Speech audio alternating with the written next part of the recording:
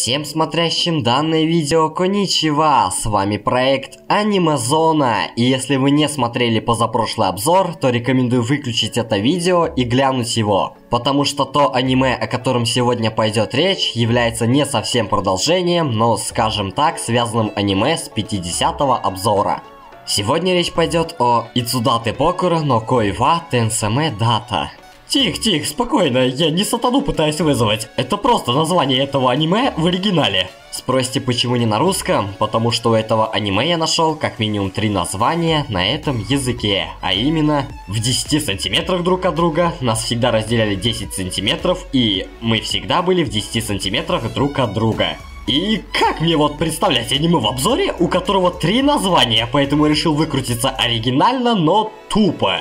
Тупо потому, что обладание японским акцентом у меня ровным счетом зеро. Ладно, вода прочь, здравствуй, обзор.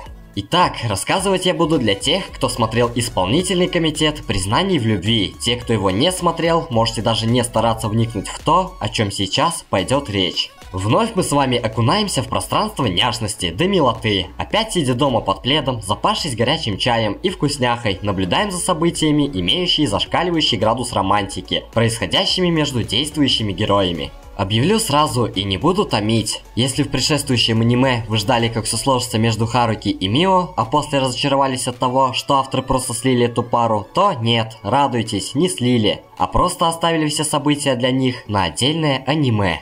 Это не продолжение, хотя как сказать. Тут, конечно, события другие, однако по времени нам все показывают еще времена не сложившихся отношений между действующими лицами. То есть, это тот же исполнительный комитет признаний в любви, только тут всех персонажей откидывают на второй план, а действующими оставляют лишь Харуки да Мио, дабы показать вам и, собственно, мне, как все сложится у них.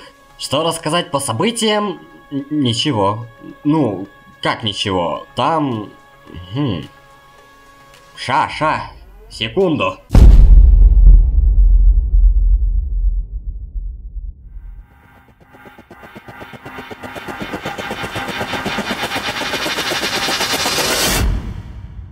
В данном аниме повествуется о двух влюбленных, чьи отношения разделяют лишь 10 сантиметров. Почему 10? Потому что они оба знают друг друга с давних времен и за время дружбы успели влюбиться в друг друга. Хару Кикуна и Мио Тян разделяют всего лишь 10 сантиметров. Под... Это демо-версия аниме. Чтобы посмотреть полную версию, вам надо досмотреть этот обзор и поставить лайк, а после просмотра найти где-нибудь само аниме. Еее, скилл растет, однако не покидает чувство, что не совсем у меня все получилось.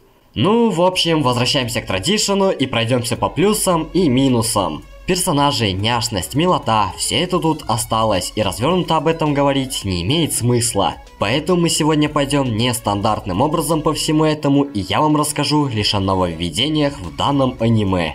Плюс один. Отмечу в аниме стилистику, перекочевавшую сюда с полнометражки, поэтому даже тут моментами вы будете видеть своеобразную нарезку с течением времени, изображающую энные действия персонажей под энергичную музыку. Это одна из тех вещей, которая лично меня очень нехило зацепила еще оттуда. Минусов 4, но не пугайтесь, они терпимые, но они есть.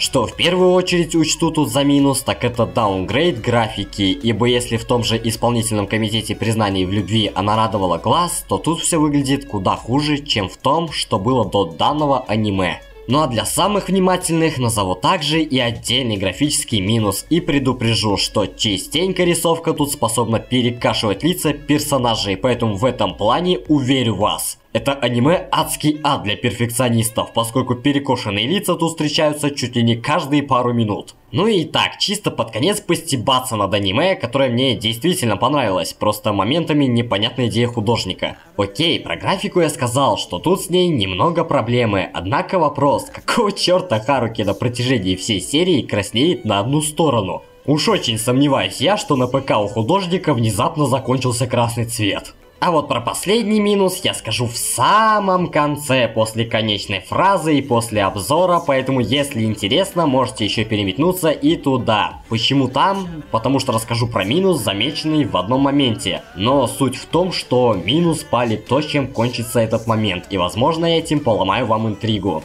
Короче, это не спойлер, но концовка единичного момента может поломать вам интерес исключительно в том моменте. А пока я скажу, что это 7 из 10, рекомендую глянуть любителям романтики и, конечно же, шоуджу жанра, а теперь пора сказать, что на этом все. Всем аригато гузаима за просмотр, жмите лайк, если понравился обзор, не забывайте подписываться, и вот еще немного похожих обзоров, слева сверху, как обычно, предыдущий. Услышимся!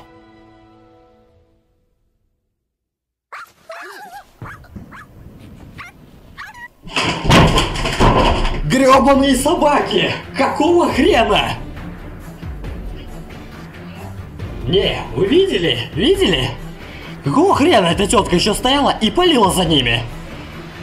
Откуда она вообще взялась?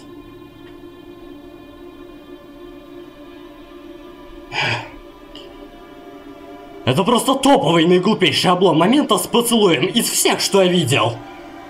Авторы просто скинули тетку Стеба и такие типа... Ага, размечтались. Еще вообще-то 4 серии впереди. Короче, капец.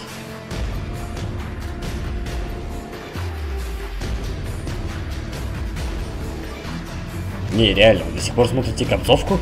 Серьезно? Ну все, кончился обзор.